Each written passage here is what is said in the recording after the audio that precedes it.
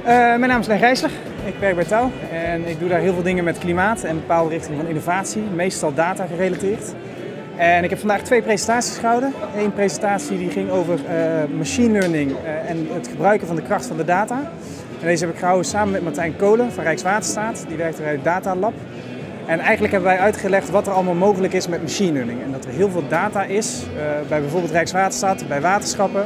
En ook zeker heel veel data in het openbare domein eigenlijk, waar heel veel kracht in zit. Waar heel veel verschillende dingen mee uitgelegd kunnen worden en inzichten uit kunnen komen.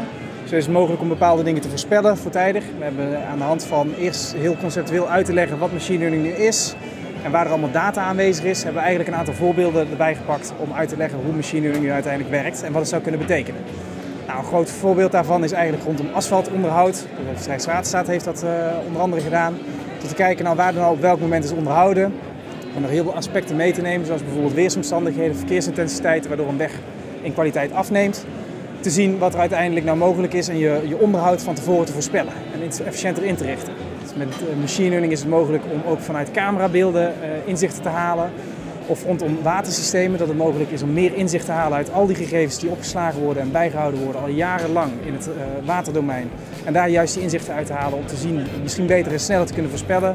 Maar ook te kijken hoe je bijvoorbeeld beter kunt uh, beheren, uh, maaibeheer en beheer en onderhoud.